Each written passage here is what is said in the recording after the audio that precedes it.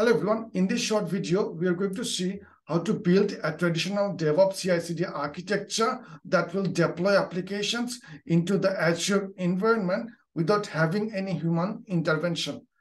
Some of the key Azure services we are going to use in this architecture are Azure DevOps, Azure Key Vault, Azure Web App, Azure Monitor, Azure Insights, and Azure Analytics Workspace. Before we see the actual architecture, let me give you a very quick overview. We have an application that needs to be built, tested, and deployed into Azure Web Apps as a container. So without further ado, let's see how our DevOps CI/CD pipeline will look like. Let's say we have an application developer who just pushed his changes into a GitHub repo. As soon as he pushed his changes into the repo, a CI/CD pipeline gets triggered in Azure DevOps.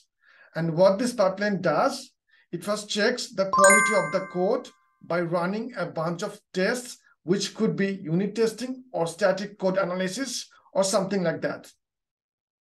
This test will require some secrets which are stored in the Azure Key Vault. At this point, Azure Pipeline will grab those secrets from the Key Vault. If any of these checks failed, the CI/CD pipeline will stop straight away, and the changes will not be deployed into our Azure environment.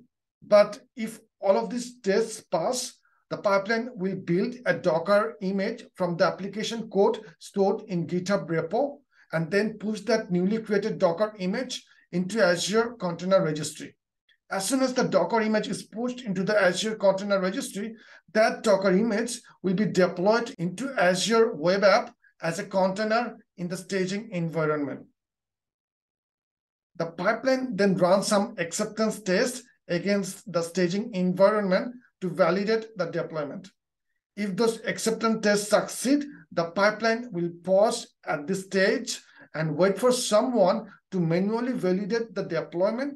And if the deployment looks good, he or she will resume the pipeline, which will eventually deploy the application into production environment. In this architecture, I have also included some other Azure services for monitoring and log analysis purposes. For example, we can integrate Azure Monitor with our Azure Web App to collect logs and metrics, which can be used to monitor our application's performance and healthiness. We can also use Azure Application Insights to collect application-specific monitoring data that can be used in Azure Log Analytics. So that's how our overall CI/CD pipeline will look like in Azure. Thank you.